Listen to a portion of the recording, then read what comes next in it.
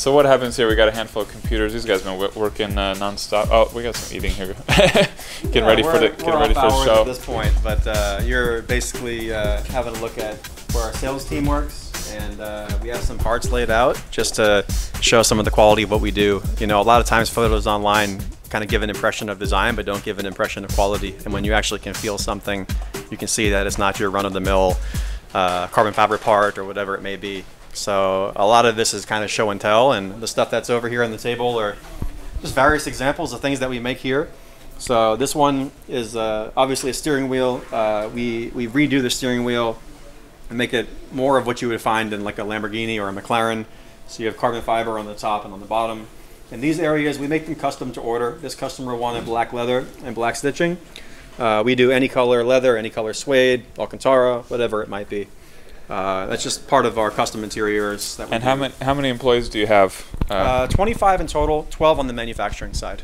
and then what? So what? Uh, what are the other positions you have? Uh, we you know we run a standard business, so we have a sales side and an operations side and warehouse and logistics and uh, usual stuff, just to try to get it from beginning to end. You know, we have to sell the parts, make the parts, ship the parts, and account for the parts. So all that, all that's covered. good stuff, fun stuff.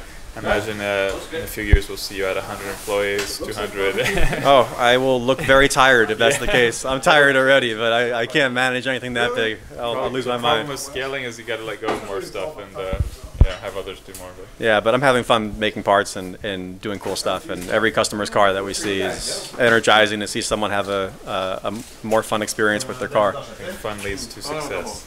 Totally. so most of this is really nice to look at, but is not really ever seen because it's all underneath the car. But this is the rear under tray of the car. It weighs nothing. You can see, you know, one finger. Um, it's about 70% lighter, and all carbon fiber. Um, here's a front diffuser. Normally you see just the front lip. This is upside down, but I mean it's it's a joke how light it is. Um, then we have some side skirts, and this is our newest item. Here's a brake rotor that we uh, make uh, using Brembo carbon ceramic rotors. It weighs nothing. Um, it is very very light, and you know for most people, maybe your viewers don't really care about rotors, but they probably do care about you know, how fast the car goes or how much range a car has. To make a car go faster or go further, you have to make it lighter or you have to add more power. Um, and in our case, we made it lighter. So the idea being just physics. If you make a car light, a car will do everything better. It'll brake better, handle better, accelerate faster, go further.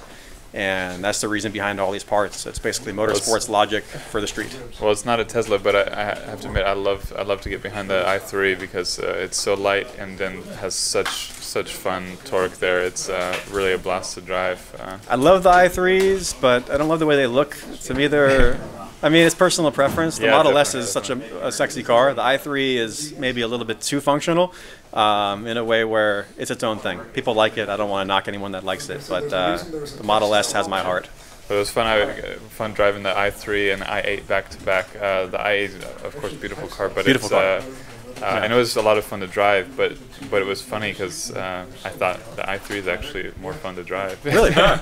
Yeah, The- I, I, think the so, i8. so light, and then the, the, the full. I mean, you get the instant torque a little bit with the i8, Yeah. but then you then it's a delay and the and the and the engine kicking in, and it's just not the same experience of just flying off with the full Hmm. electricity. In my in my opinion, it was. I was like, wow, that's not even quite as fun as the i3 in my.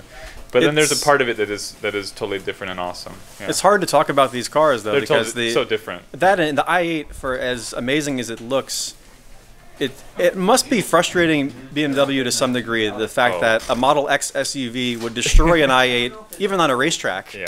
And then still have more storage capacity and still go a further distance and have more power in every metric you can measure the i8 looks like it should defeat anything but in reality uh, a simple looking soccer mom SUV just destroys it in every category Totally. Yeah. so uh, I love the i8. I think the with the- design is great, but it's it's lacking in function. The same with the Porsche Panamera SE Hybrid. Uh, Both of them, it's like, well, you you just can't you just can't compete with a with an SUV from Tesla, It's true. Tesla's a, a few steps ahead of the game. especially if sure. Unplugged Performance gets its hands on it. We hope. We like to hope so.